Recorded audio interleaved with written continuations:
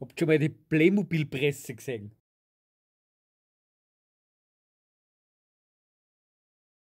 Ich, darf ich mal fragen, ob jemand von den Öffentlich-Rechtlichen hier heute sitzt? Ist jemand hier? Nein.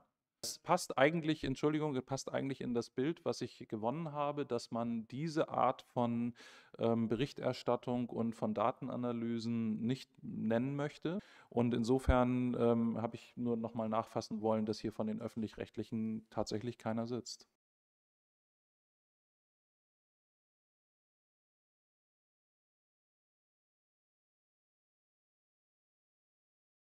Da stellt sich jetzt die spannende Frage, wieso das da von der Playmobil-Presse keiner auftaucht ist. Wo ja das Thema gar nicht so unrelevant war, anhand von diesen Zahlen, Daten, Fakten. Und ich glaube, das sollte jeder für sich selbst beantworten.